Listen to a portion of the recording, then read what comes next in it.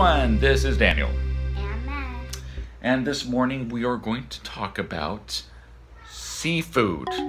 Now, seafood, what, what is seafood? Seafood is like food in the ocean. Very good, food in the ocean. So, do you like seafood? No, Why not? because it's so. You don't like the taste of it?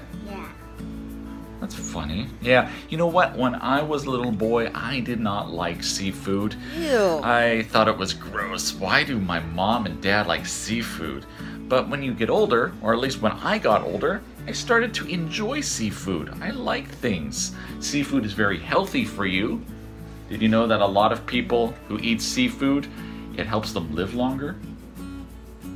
And we went to a seafood restaurant uh, the other day, and you still liked going there, didn't you? Yeah. So tell me about this seafood restaurant. What what what was unusual about this place? Well, it was that we. There was food was passing around on a, a elevator. Not an elevator, a little conveyor belt or a little train, and it moves the dishes around. It goes all around, and so anyone who wants to eat the food or sees that, like, um, oh, I'll take that.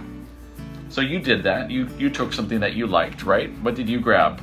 I grabbed sushi. You did not. You did not. You did, oh, you got some sushi rolls.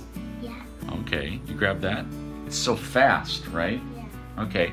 Well, I love going to this kind of restaurant. It's a fast way to eat seafood.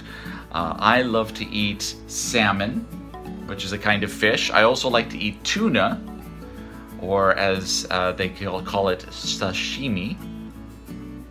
Did you realize the fish? Okay, so I gave you some salmon, and did you like it? Did you taste it? Blah. You didn't like it. Wh- Why not? Because it doesn't have a taste. Does ginger taste? It tastes really sour and really spicy. Yeah, you're right.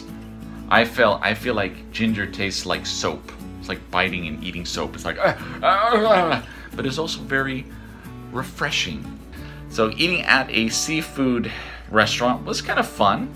I mean, I liked eating seafood. You didn't really eat that much seafood. You ate a lot more vegetables, and you did have some of that seaweed. You like seaweed, right? Yeah. It's like the grass of the ocean. Yeah. Guys, thanks again for joining us as we talk about seafood today, and we hope you have a very good day. We'll talk to you guys next time. Bye.